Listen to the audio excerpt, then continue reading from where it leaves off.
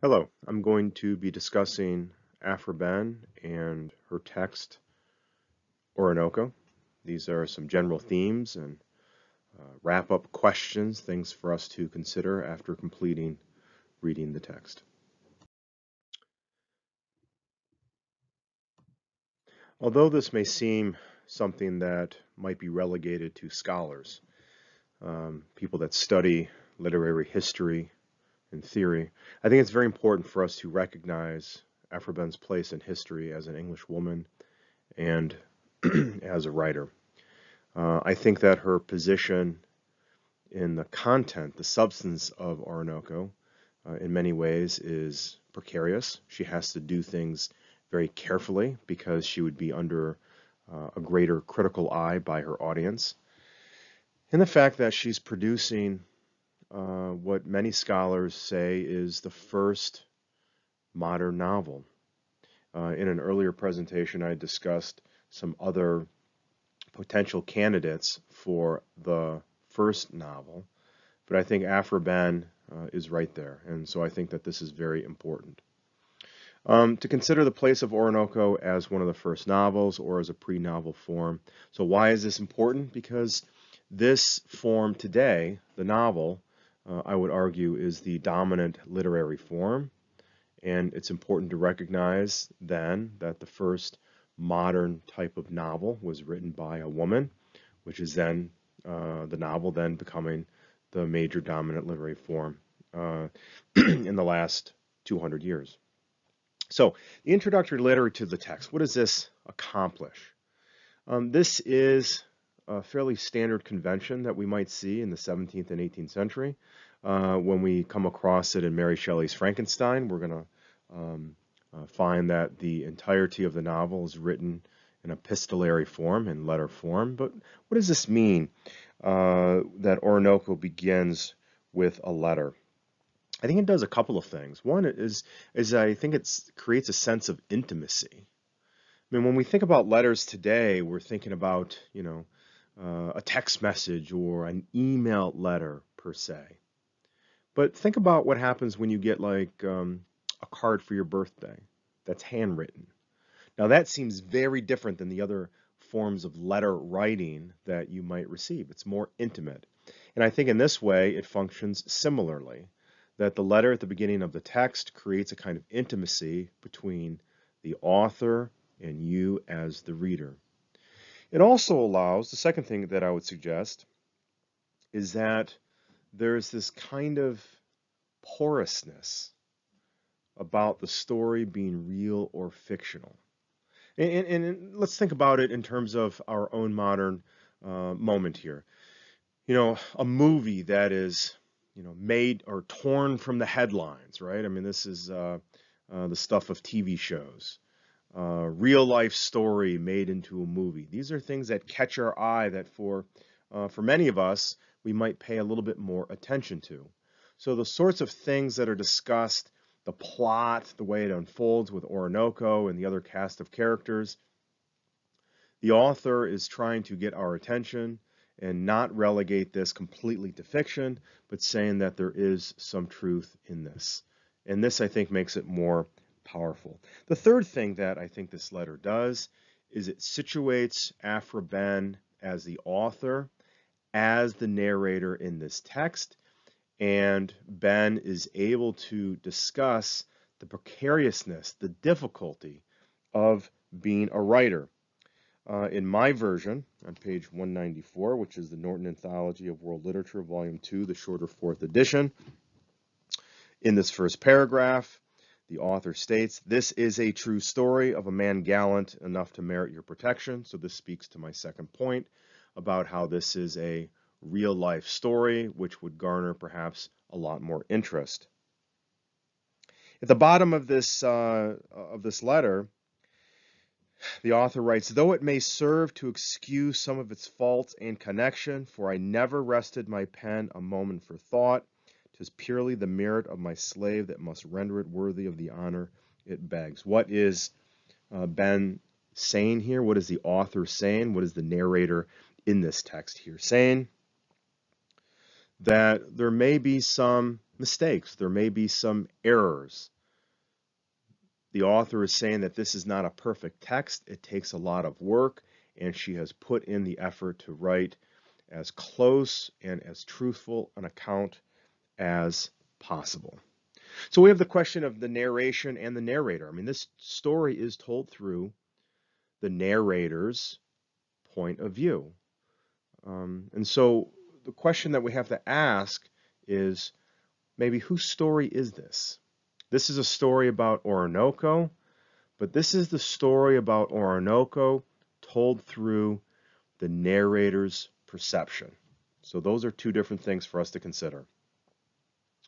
Finally, the relationship between the first part of the novel and the second. The first part, uh, as I discussed in an earlier lecture, the first part of this novel, I think, has very much a fairy tale quality. It feels medieval, uh, like um, Marie de France's uh, Lays or whatnot. It's about courtship and betrayal and court intrigue. And we see the love between Oroonoko and Imoinda, and I think we can identify with that love. And then we can also feel the tragedy when the king takes Imoinda for himself, and this then will facilitate the betrayal and the anger, uh, and this will move us to the second, uh, second part of the novel. The second part of this novel, I think in many ways, feels more modern, uh, more realistic. Uh, certainly the violence that is explicated uh, is over the top. It is overwhelming. Uh, in many ways, it is postmodern. It is hyperviolent. So there's a, definitely a divide, not only in terms of plot, in terms of geography. The first part, uh, plot, excuse me, the first part of the novel takes place in Africa.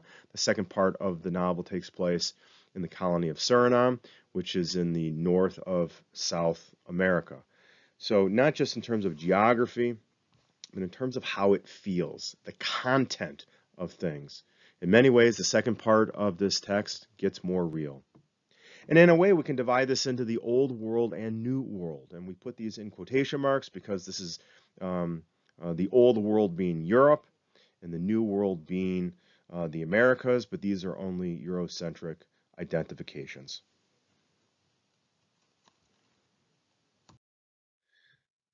Okay, a variety of different uh, general themes, general topics. These are different areas that you can do further inquiry into, uh, perhaps to develop an argument, to develop a thesis, and I believe at the end of this presentation I do have an example of an argument that can be made with an introductory paragraph. These are not exclusive of one another, meaning that one particular category can be a subset of another category if things were rearranged in the service of some sort of argument that you might be working on. This is also not an exhaustive list. This, is, this does not contain all of the possibilities. That would be, I would suggest, impossible to do. These are just sort of a general overlook to sort of wrap up and recognize some of the general themes and topics of this text. Okay, so the first one that I have here is ethnography. What is ethnography? Ethnography essentially is the study of other cultures. Um, this is the 17th century. Uh, there's no internet. There's no videos. There's no YouTube uh, videos going on. There's no uh, Facebook posts. There's no My Story posts, um, you know, updating your story and things like that. How do people get information? Sometimes it, it, it might take months for people in England or in Europe to read about, let's say, what's going on in the Americas. Another way that people got information was through literature. And I think Behn, um, there's a, a lot of information about native cultures in this text. And let me give us an example. On the bottom page 195, about six lines from the bottom, the beads they weave into aprons about a quarter of an ell long and of the same breadth working them very prettily in flowers of several colors of beads, which apron they wear just before them, as Adam and Eve did the figure, the excuse me, the fig leaves. The men wearing a long stripe of linen, which they deal with us for. They thread these beads along on long cotton threads. so on and so forth. Um, setting aside the allusion to Adam and Eve for a moment, as we're talking about ethnography, there are all sorts of passages throughout this text that describe native culture. So this would fall under the category of ethnography. If you were a reader in late 17th or early 18th century Europe, you are being introduced to various native cultures through Behn's text. The second point I want to make here is reason versus um, uh, emotion. Now, in subsequent lectures, we're going to talk about romanticism, but this is, you know, this is the period of, of, of order, of critical thinking, and those sorts of things. And um, you know, this is about civilization and law and governing one's emotions to think clearly. This, in a way, I think, predicts romanticism because all throughout this text, uh, particularly men, lose their cool, so to speak, and let their emotions uh, rule their actions. On page 203, here's an example uh, of that. And uh, this is in the service of love. And whether it's love or agony or grief, and then the subsequent action or result of uh, being upset about love or, or being in anguish or grief often turns to other emotions like violence, like going to war. But let me just give you an example on page 203. Um, I am one, two, three, four paragraphs down. While Oroonoko felt all the agonies of love and suffered under a torment the most painful in the world, the old king was not exempted from his share of affliction he was troubled for having been forced by an irresistible passion. Okay, so I think this passage does actually a couple of things. Um, importantly, it aligns the king who takes Imoinda from Oroonoko. It aligns the king uh, in similar strokes with Oroonoko, that there's a similarity between Oroonoko and the king. There's a similarity between Oroonoko and the king and men in general. These two people being men, that men often are ruled by passion. Uh, oftentimes it is sexual desire, and it makes them think or do things that sometimes are not very uh, clear-headed.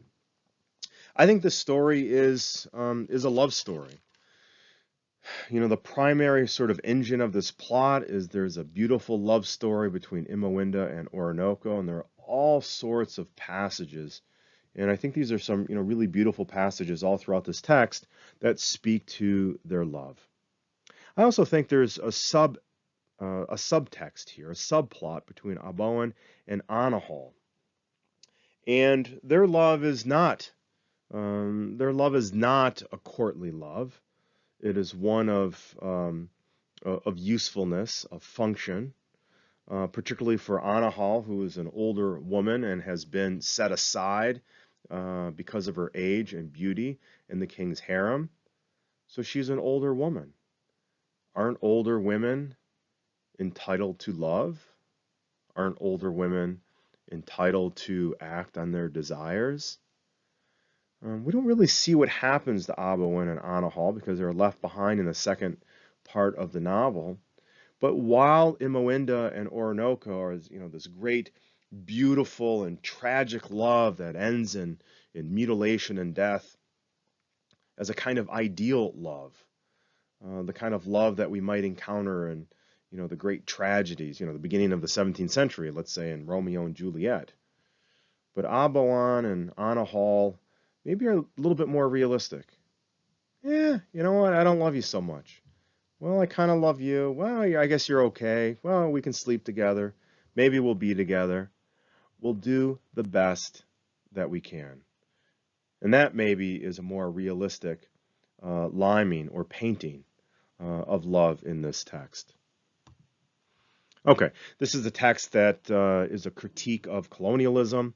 Uh, you know, people from uh, Europe uh, going into the Caribbean, going into South America, into the Americas, displacing native peoples and setting up their own colonies, and we spoke about that in an earlier presentation.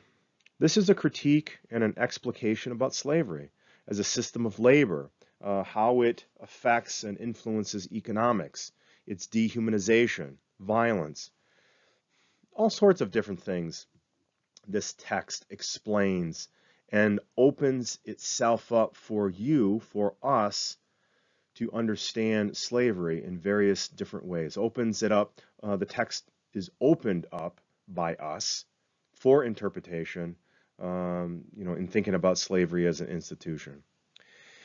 And as I think uh, its relationship to Christianity. Uh, I'm on page 217. And all throughout the 17th and 18th and 19th centuries, uh, there was a hot debate, a heated debate between thinkers uh, on, on, on, both sides of the argument uh, of slavery. Um, you know, is it uh, is it something that can be sustained on moral grounds? Is it something that can be sustained on theological grounds? Well, if we take away slavery, what's it going to do to the economic system that we've set up, where uh, primarily white uh, plantation owners uh, need an influx of labor? what's going to happen? Is the system is the entirety of the system going to collapse without slavery? So there's an there's arguments back and forth and this is uh, this doesn't really get resolved until um, and it's really in its totality into the later part of the 19th century. But I think the relationship the sort of moral question moral debate on one hand how can uh, people treat another human being as property? Uh, how can they be beaten and persecuted and oppressed and in some cases killed without any sort of consequence against the morality uh, in theology is taught uh, in Christian doctrine. And so this was a discussion that was ongoing. And I think in many ways that discussion is present in this text and Christianity is critiqued. And let me just give us an example. On bottom page 217, at the bottom of the page, I ought to tell you that the Christians never buy any slaves, but they give give them some name of their own, their native ones being like very barbarous and hard to pronounce, so on and so forth. Okay, so this is a moment where Oroonoko uh, is brought to Suriname and uh, he's renamed. So this has to do with uh, other things, uh, identity and, and whatnot. But that the text says that Christians never buy slaves. Um, yeah, let's not get into semantics here. Let's be real. Um, Christians bought slaves all the time. And this was part of uh, Behn's social critique uh, against European culture, uh, against countries that uh, were engaged. I mean, for Britain, slavery was the most profitable business uh, aside from you know sugar or silver or whatever them uh, whatever else they might be into, slavery was the most profitable business. And if you got rid of slavery, uh, bad things to the economy, to the European economy, to the British economy would happen. So this is paradoxical. This is, I think, uh, sarcastic um, that very much so uh, is the case that Christians bought slaves. And in fact, and we see in slave autobiography, American slave autobiography in the 19th century, um, and I'm thinking of the, the uh, autobiography of Frederick Douglass, uh, in that he wrote that Christian slave masters were the most violent and most oppressive of the slave masters that he had heard of or that he himself had encountered because they had believed in some way that their powerful position was mandated by God and that they could do whatever they want to their slaves. So it was very uh, dangerous in that way. Sort of following along with uh, ethnography in some way, but Suriname is uh, presented as a paradise. I mentioned uh, a short time ago in one of the passages that I read that uh, the uh, description of the environment, there was an allusion to Adam and Eve. And so uh, Adam and Eve being an important uh, an important illusion. Where was you know where was Adam and Eve located in the Garden of Eden? And Suriname is constructed in this text as a Garden of Eden. And uh, what what does this do? Well, if Suriname is constructed as a Garden of Eden, and colonialists and Europeans come in and destroy that, uh, destroy that Garden of Eden because of resource extraction and commodification, uh, objectification and, and enslavement. What does that say about European culture? If European culture, if the sort of center of Christian theology is how to get back to the Garden of Eden that uh, Adam and Eve were exiled, what does it say if you have a space, if you have a place that is like a Garden of Eden, and instead of embracing it, you destroy it? On the top of page 224, just to give you an example here, whose flowery and fruit-bearing branches meet at the top and hindered the sun, whose rays are very fierce there. From entering a beam into the grove and the cool air that came from the river, made it not only fit to entertain people in at all the hottest hours of the day, but refreshed the sweet blossoms and made it always sweet and charming. And sure the whole globe of the world cannot show so delightful a place as this grove was. A grove being a kind of wooded oasis. Here, I'm suggesting this has to do with the Garden of Eden. And European colonialists, imperialists, came into this Garden of Eden and transgressed once again. History sort of repeating itself. Okay, family dynamics, all sorts of interesting things, I think, going on in this text because uh, the king is related in some way to Oroonoko and he has coveted Oroonoko's, uh, Oroonoko's wife. So something for us to consider, the relationships between fathers and sons, uh, in this case, uncles and, and um, uh, nephews and things like that. Always something for us to pay attention to. And uh, to consider sex, how it operates uh, in this text. Uh, sex is the medium with which uh, people either express violent passions or express their romantic passions. And I think the line between the two is very precarious. What else? The environment, uh, all sorts of descriptions of the native flora and fauna, but also how the uh, recognizing the beauty of the flora and fauna become commodified or domesticated. There's a, a particular moment in the text where uh, in Suriname where there's a river that is very beautiful and when uh, it was discovered uh, when gold was discovered, instead of then instead of the Europeans concentrating on let's even say the river as a method, a, a way to travel, but the entire river was blocked off from the natives because that was going to become the space of commodity extraction. So in many ways, whether we're talking about tigers and I think really jaguars or panthers that are being hunted and killed, uh, or about extracting gold, uh, I think there's an environmental argument in this text that European culture is about uh, resources and commodification at the expense of the environment. Um, I think there's uh, there's an argument here to be made uh, pertaining, uh, pertaining to fate.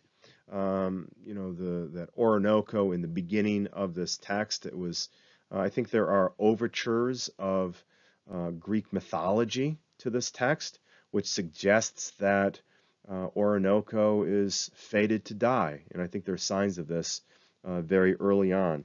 And much like some of the Greek stories uh, from the first millennium BCE, uh, you know, whether we're thinking about Odysseus or Hector or Achilles, um, particularly with war, I'm thinking uh, particularly of the Iliad and this desire for honor and glory which is often at the expense of, of other things and maybe even uh, clear thinking. And then finally here, construction of masculinity and femininity. What does it mean to be a woman? What does it mean to be a man? Uh, and I think this text uh, moves into thinking about that. I just want to bring uh, our attention to uh, how this text uh, sort of constructs what it means to be a woman. And in this way, I think that this text is very modern. Uh, I mentioned earlier, what happens to Anahal? Uh, she was part of the king's harem. She is no longer a lover of the king. Why is that? Because she's old. So we have beauty attached to the value of a woman here in this text. I think it's important that the writer here is a woman because we may not get this, uh, I think, in this way if the writer was male. Um, and this is, I think, a very, you know, these are things that our culture uh, struggles with today. We are very much interested, unfortunately, uh, in evaluating and judging both men and women on how they look, on beauty. And there's been lots of, uh, of course, studies, uh, whether we're talking about studies about catcalling and and uh, uh, sexual object, uh, objectification, or how a man or a woman with their perceived beauty can be more successful or move up, you know, in a company faster or whatnot. Well, this is not, you know, this is the 21st century. This is the 20th century. This is going on in the 17th century. This is going on 3,000 years ago. Um, so I think in this way, this makes the text, I think, really modern. And let me just bring our attention to one particular passage on page 205. This Anahal, as I said, was one of the cast mistresses of the old king. And 'twas these now past their beauty that were made guardians or governants to the new and the young ones, and whose business it was to teach them all those wanton arts of love, with which they prevailed and charmed heretofore in their turn. I love that word, heretofore and who now treated the triumphant happy ones with all the severity as to liberty and freedom that was possible in revenge of those honors they robbed them of. So what does this mean here? Well, it means again that the value of a woman is based upon her youth and her beauty. And when Anna Hall has become older, she has been cast aside. Well, this suggests then that uh, Anahal is, is less than a woman, less than a person. It presupposes that Anna Anahal, and she was younger, you know, was engaging in sexual relations with the king or men of power. That you know, does Anna Anahal, as an older woman, does she still have, uh, or does she have any sexual desire of her own? And I think this is where the sort of subtext or subplot of the love between her and Abo uh, come in. What is Anahal's reaction to being cast aside? She's angry, and she takes her revenge on the young women who have become the new uh, concubines, the, the new wives of the king.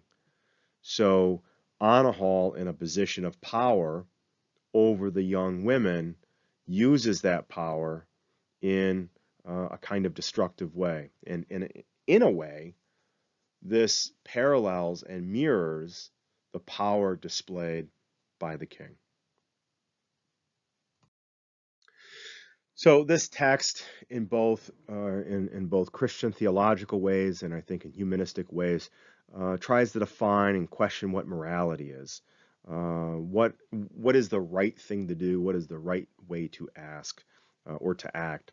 Uh, and this is between Oroonoko and the slaves and the colonialists, the king, questions about monogamy, um, lying, and decency. Um, Oroonoko is from Africa where monogamy would have been accepted. I mean, obviously the king has multiple wives, but Oroonoko is only interested in Imoinda. There's this discussion about the governor of Suriname uh, and about lying. And uh, the, the, the, the natives don't the natives of Suriname don't know what lying is until it's explained to them. Then they understand what lying is and say, "Oh, the governor, you're a liar." So what does this say about European culture? That they are explaining what lying is and they are liars and that this quote unquote primitive culture, this one that is more like uh, you know closer to Adam and Eve, if you will, um, they don't know what lying is. They are more moral. So uh, this text is a discussion of the morality of the various cultures. And again, what does this text say about Europeans and, and white culture? Violence and trauma. Why? How? How does it continue? How can it be contained? What is the role of the past? How is trauma uh, expressed? All of these questions, I think violence and trauma go hand in hand. Um, it's the person experiencing the violence, the, the audience or spectator that sees the violent act. These are both part of primary trauma or primary violence. And then we have the retelling of this story, secondary trauma. Perhaps we as the audience uh, are a part of the secondary trauma because the narrator is telling us this story about what happens to Imoinda and Oroonoko. How can violence be contained? And this is the difficulty with um, with violence. I mean, this this text, I think, we can engage in a conversation, a psychological, uh, a conversation about the psychology of trauma and how it needs to be worked out. And if it's not worked out, then it can become haunting and recurrent. Or if it's repressed, then there are uh, symptomatic manifestations, whether we're talking about uh, obsessive compulsive tendencies or anxiety, uh, nightmares, things that are both conscious and unconscious. And this text uh, engages in a conversation about the theories of violence. One of the uh, theories about violence is that once violence starts, it cannot be contained. And, and let's put this in a, in, a, in a kind of modern example. Obviously, in 1945, the United States dropped two atomic bombs on Japan, and this led to the ending of World War II. Today, nuclear missiles, nuclear bombs are much more powerful than they were in World War II. If a country launches a nuclear attack, and you've heard this, I mean, I mean, it's it's in the literature, uh, we see it in movies. What happens? That the one missile, the one nuclear missile, becomes the first missile in a whole series of missiles and bombs, and that leads to the destruction of the world. Once the box is open, you can't put it all back in. It all comes out. That once violence begins, it can become overwhelming. It can become uncontained. And I think that we see that here in this text. Once the violence begins in the second part of this text, you know, whether it's in the, the whipping and the, and, and the smaller incidences of violence that the slave experiences on an everyday basis. This leads to the overwhelming violence at the end of this text where Oroonoko mutilates the love of his life, Imoinda. And I think it's worthwhile for us to look at this passage on page 237, second paragraph. All that love could say in such cases being ended, and all the intermitting irre uh, irresolutions being adjusted, the lovely, young, and adored victim lays herself down before the sacrificer. And this has, I think, a biblical overtone.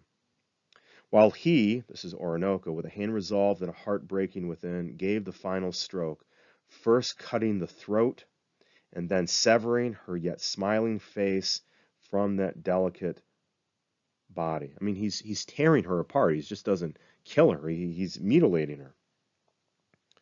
Pregnant as it was with the fruits of tenderest love. So Oroonoko has slit the throat and has really begun ripping apart Imoinda, who's carrying his child.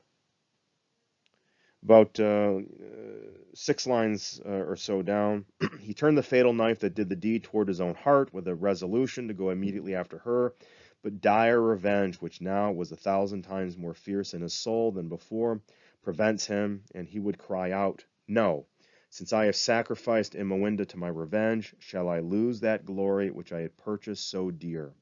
Again, the word, uh, interestingly, I think glory here.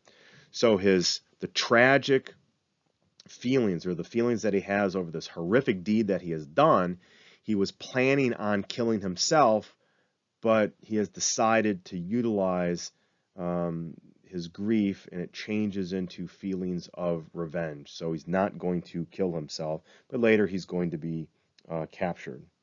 And it says at the bottom of that passage, and however bent he was on the intended slaughter, he had not power to stir from the sight of this dear object, now more beloved and more adored than ever. And I think it's an interesting point for you to consider why does he now consider Imoinda an object? I think there's a couple, uh, at least a couple of different ways of considering this. Has Imoinda become an object because she's no longer alive? That she has been, uh, since she has been killed and, and maybe partially mutilated, that she no longer maintains her identity as Imoinda and now she has become a thing. Has Oroonoko engaged in the way that other men in this text have commodified women? And if Oroonoko has commodified Imoinda, now she is a thing in that way. Or is this a kind of defense mechanism? Because of the horrific deed that Oroonoko just engaged in, could he only continue to make sense of the world by blocking out the act and no longer thinking about Imoinda as Imoinda, but rather a thing? So several different ways that I think we can think about that particular passage. My, my larger point being, this is pretty darn violent. Uh, and I remember the first time that I encountered this text many years ago, I thought, this is pretty darn violent. I mean, this is, um, uh, you know, this is American Psycho territory. Uh, you know, other sort of uh, late modernist or postmodernist text. This is, you know, Cormac McCarthy's uh, Blood Meridian territory. I mean, this is pretty over the top. And it continues to get worse. And then finally, you know, for us to uh, think about identity, I mentioned earlier about naming. What does it mean? Your name is, I think, a part of you. Uh, you are not given, uh, or excuse me, I should say, you, you do not get to choose your name, but your name becomes inextricably linked with your identity. You see yourself as uh, whatever your name is. And if someone were to say to you, you are no longer that person, you are no longer, you no longer have that name, there might be this kind of danger about no longer being the person that you believed yourself to be. So in terms of identity, uh, you know, uh, the, the, naming process, uh, a free person versus a slave, what kind of identity uh, does that uh, person have and how does that transform? How do identities transform here? Oroonoko's identity transforms from that of a powerful free person in Africa who owns slaves to being a slave. And what is the identity of colonialists?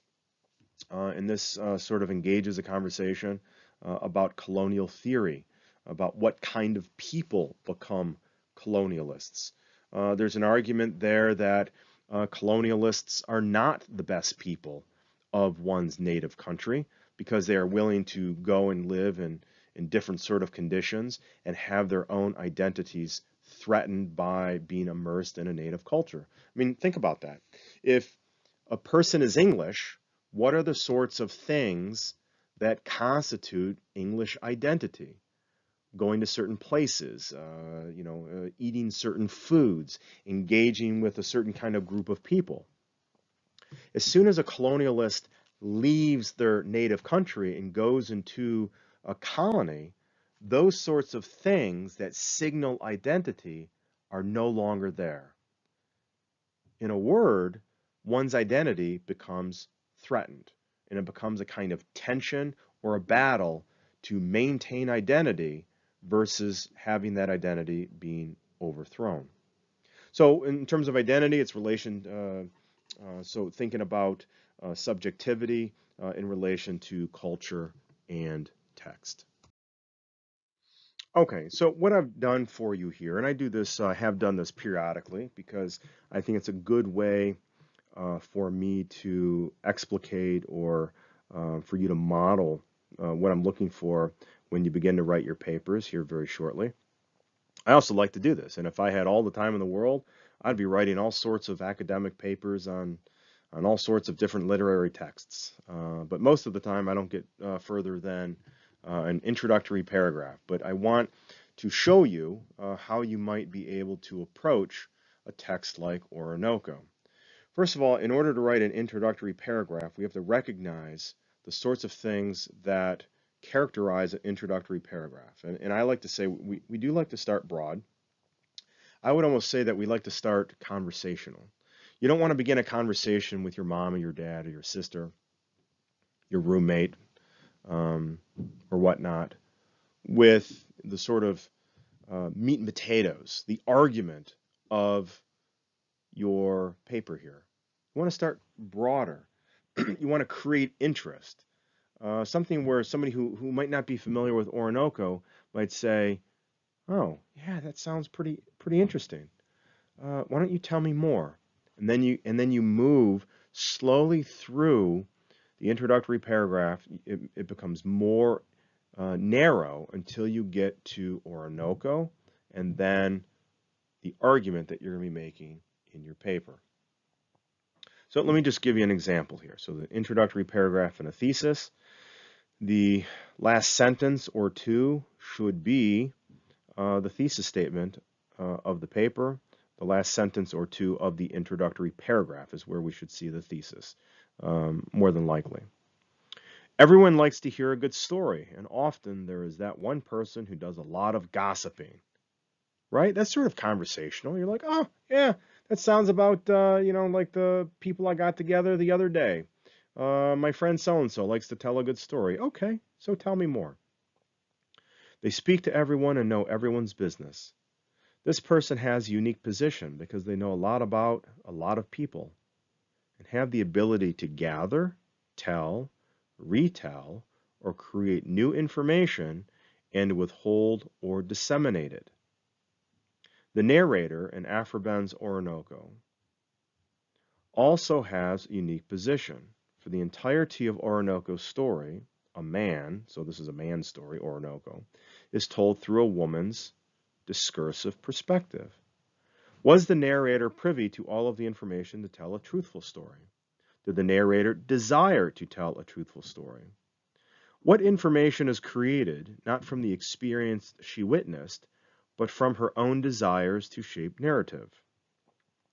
Michel Foucault, in his classic studies of history of sexuality, The Birth of the Clinic, and Madness and Civilization, details the discursive power that the doctor figure, or in this case, the witness, has over society.